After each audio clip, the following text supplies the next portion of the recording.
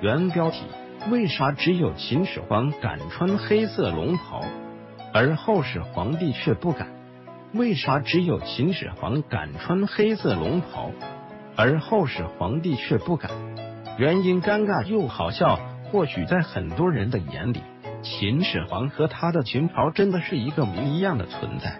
就拿秦始皇的日常穿着来说吧，或许在那么多的皇帝之中，只有秦始皇敢穿黑色的龙袍了。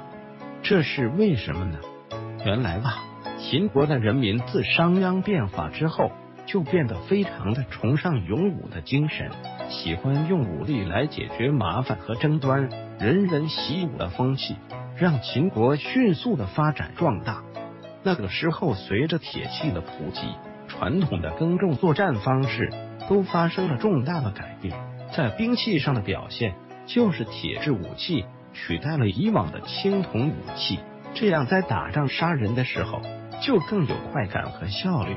秦国也就是这样逐渐统一了六国，所以以武立国的秦王朝。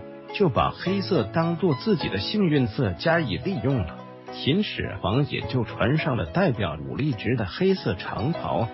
不过可惜的是，这一身黑色的长袍并没有给秦朝带来多久的安宁和幸运。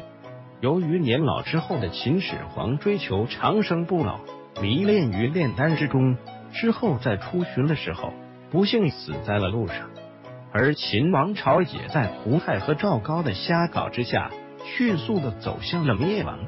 所以后世的皇帝就开始认为黑色是不祥的颜色，就摒弃了秦始皇的一贯做法。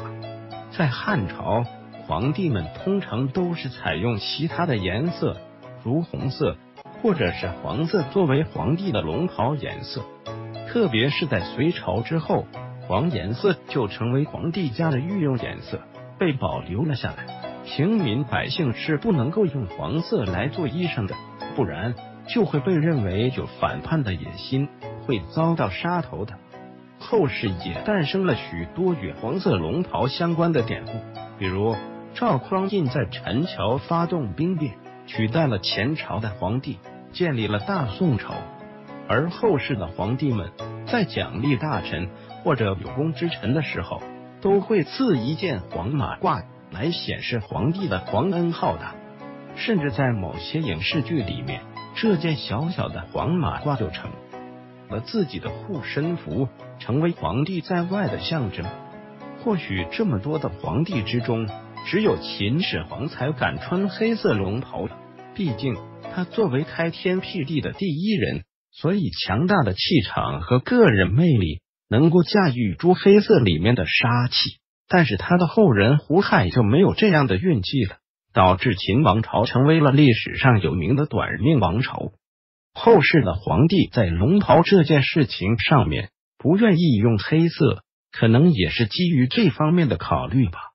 其实，作为一个王朝，想要维持下去，跟皇帝自己穿什么衣服没有任何的关系。同一个王朝。同一样颜色的龙袍，在开国皇帝里就是幸运护身符，而穿在亡国之君的身上就是晦气，这也太说不过去了吧？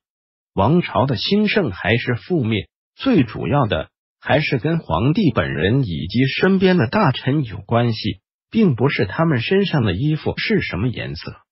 大家说是吗？欢迎留言讨论哦。图片来源于网络。如有侵权，联系删除，返回搜狐查看更多责任编辑。